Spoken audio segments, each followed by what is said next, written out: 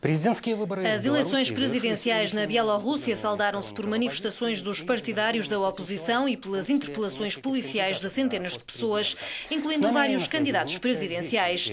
Em duplex, desde Minsk, está Alexandre Lukashenko, presidente da República. Senhor Lukashenko, tornou-se notícia o estado de saúde do candidato presidencial Vladimir Neklayev, que foi seriamente agredido. Onde está neste momento? As imagens de Neklayev ferido correram o mundo. Quer que a Bielorrússia Rússia atual seja julgada a partir destas imagens ou pensa mudar alguma coisa? Sabe, a vida na Bielorrússia não se faz de imagens virtuais. Essa é a primeira coisa. Segunda coisa, queria corrigi-los. As eleições presidenciais na Bielorrússia não se saldaram pelo que disse. Aquilo passou-se depois das eleições. Quanto ao estado de saúde do ex-candidato à presidência, temos um sistema de saúde muito bom, não é pior que o da França. Eles vão se ocupar dos problemas de saúde, incluindo incluindo o ex-candidato presidencial. Não sou médico e não quero intervir nessas questões. Se quer falar dessas arruaças que têm sido organizadas ou provocadas por jovens, eu imagino que viu essas imagens. Penso que será bom ver as imagens dos candidatos, mas não apenas do candidato com o olho negro. Imagino que leu igualmente as declarações do diretor da sua campanha, que não acusa a polícia absolutamente de nada do que se passou. São assuntos entre eles. Não é necessário fazer mais especulações. И почитали недавнее заявление начальника штаба э, господина Никляева, который абсолютно не обвиняет, оно только что вышло, не обвиняет милицию в том, что произошло. Это их проделки, и они пусть В этом разбираются сами. Нас в это втягивать не надо. Centenas de pessoas foram interpeladas, numerosas foram identificadas, sete candidatos presidenciais detidos. Isto não tem precedentes. Não lhe parece que foi uma reação desproporcionada das forças de ordem? Tem medo da oposição? Почему такая жесткая реакция? Вы что, боитесь оппозиции? Sabe, enquanto viver, não terei medo das vossas estruturas europeias. Mas tenho medo de uma coisa. Sou o presidente reeleito do Estado bielorrusso que tem um povo. Devo garantir a paz e a segurança deste povo. Tudo o que ontem se passou foi registado, incluindo pelos jornalistas estrangeiros, incluindo pela Euronews. Se forem honestos, mostrem o que se passou. Foram autênticos motins e os seus organizadores e participantes devem responder por isso. Não perante mim, que não preciso. Não tenho sede de sangue. Vão responder perante o povo bielorrusso de acordo com as nossas leis. Se aquilo se tivesse passado em França, responderiam de acordo com as leis francesas. Mas devo dizer, entre parênteses, que, ao contrário da França, nós não lançamos gás lacrimogéneo nem jatos de canhões de água, tendo em conta as baixas temperaturas. Estamos distantes ainda da vossa democracia. Eh, Pode dar-nos a sua versão do que se passou? Estas pessoas violaram a lei?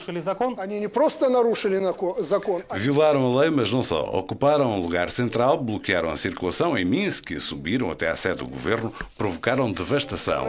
Partiram vidros. Ponha aí as imagens da Euronews. Peçam aos vossos jornalistas que estão a filmar-me essas imagens. Quando subiram para a sede do governo, destruíram o edifício governamental. Essa é a questão. Naturalmente, a polícia foi obrigada a tomar medidas adequadas, interpelando quem estava ali, incluindo os organizadores. Nós estamos a inquirir oito ou nove candidatos, mas apenas dois ou três. Se a Euronews é uma cadeia honesta, devo dizer que vos vejo de manhã à noite, que mostra as imagens do que se passou na Bielorrússia e do que essas pessoas fizeram.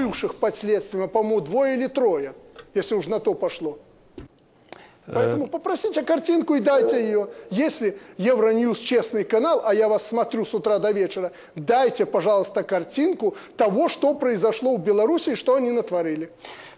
A dispersão musculada dos manifestantes e as dúvidas sobre a forma de contagem dos votos são essas as causas da recusa dos observadores internacionais em reconhecer estas eleições como livres e democráticas. Aquilo não os desiludiu? Você não se expressa corretamente, Alexei. Tudo o que a missão de observadores internacionais escreveu é um considerável passo em frente em relação ao que se passou em 2006. É um passo colossal, Alexei. E acredita que sobre esta base podemos construir as nossas relações com a Europa. Quem quiser realmente ver a situação na Bielorrússia de uma maneira imparcial, pode fazê-lo. Aquilo não me desiludiu absolutamente nada, como você disse. Este é o primeiro ponto. O segundo, estas eleições foram organizadas para nós e não para a missão da Organização de Segurança e Cooperação na Europa. Convidámos todos os que quiseram vir. Viram tudo o que queriam, por isso não estou preocupado. Estou convencido que todos os nossos problemas com a França e com a União Europeia serão resolvidos brevemente. Tudo aquilo passará, tudo aquilo é inútil. Interrogo-vos concretamente sobre os vossos objetivos.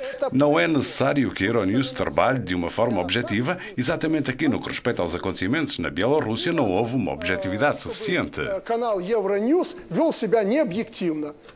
Объективности пока по событиям в Беларуси было маловато. А российский президент... O presidente russo felicitou pela vitória? Вот просидел полдня на пресс-конференции. Passei metade do dia na conferência de imprensa. Quando voltar, verei todo o correio. Já recebi felicitações do presidente Nazarbayev, do Cazaquistão, Hugo Chávez, da Venezuela, de outros presidentes que me enviaram cartas de felicitações. Mas não tenho as últimas informações por causa da conferência de imprensa. Quando voltar ao gabinete, vejo o correio e digo-lhe assim, sem falta. Вам обязательно сообщу. Спасибо, господин президент. Свою оценку выборам в Беларуси специально для Евроньюз дал белорусский президент Александр Лукашенко. Спасибо.